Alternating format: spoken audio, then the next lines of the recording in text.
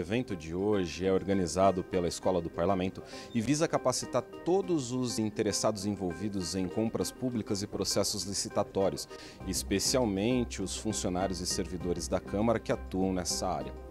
Essa capacitação é importante porque deve entrar em vigor a partir do dia 1 de abril a nova lei de licitações. Essa legislação federal vai alterar uma série de processos relacionados a licitações, principalmente com a utilização de tecnologia da informação e meios digitais. O objetivo é desburocratizar esses processos e também permitir maior transparência. Essa maior transparência vai facilitar os meios de controle externo, tanto de órgãos reguladores como da própria população interessada em saber como estão os gastos públicos.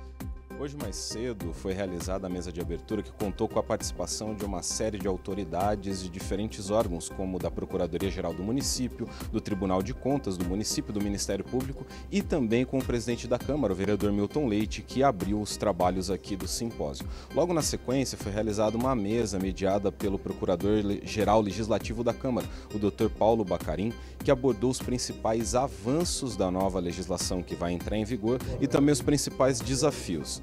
Agora vai começar nesse momento a mesa da tarde do evento.